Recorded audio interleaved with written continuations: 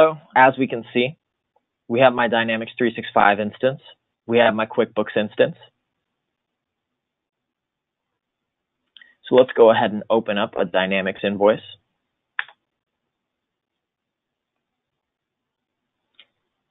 And I know I mentioned we work with CRM 2011 and later. Uh, we work with QuickBooks 2008 and later, and that's also desktop and online for both of these uh, platforms. Perfect. So we can see the customer test me account. We can see the test product. So if we go ahead and open up our QuickBooks, let's see if we can find that customer. Surprise, there's no customer in there. Oh no, what are we going to do? So from here, I'm going to go ahead and open up DBSync.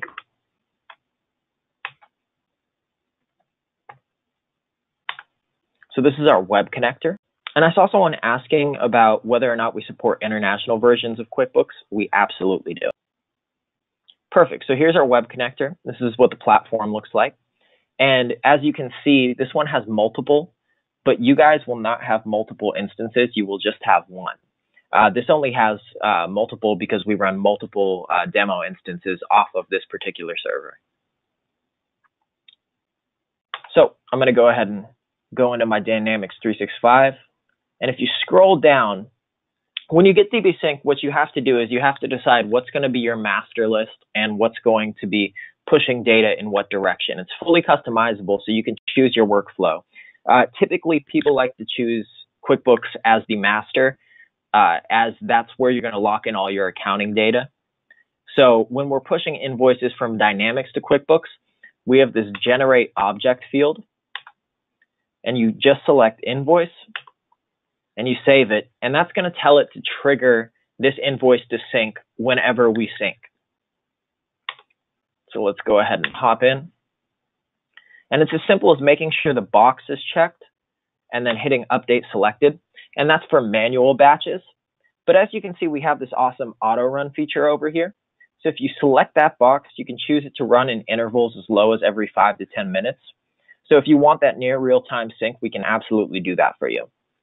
And again, I'm showing the data flowing from uh, CRM into QuickBooks, but it's absolutely possible to have the data automatically flow from QuickBooks into CRM. So as you can see, the uh, the customers being created. We'll go ahead and we'll look at the total progress uh, here.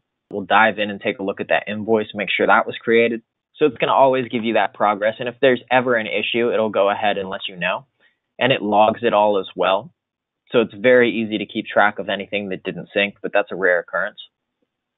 And as I mentioned, it is a bidirectional sync and you can choose what data flows in what direction.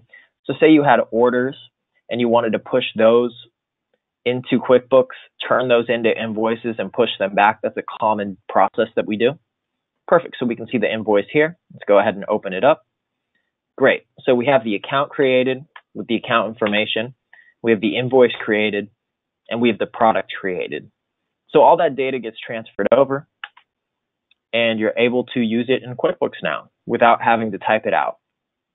And what's great too is if you go back to the actual invoice and you refresh the page, you're going to be able to see down here there's an invoice updated notification, and there's also a unique QuickBooks ID. And again, as I mentioned, if you have other fields that you'd want integrated beyond the scope of the standard connector, that's very easy for us to do. We just do a meeting with our business analyst. We go ahead and assess your needs, and we can work up a quote for that.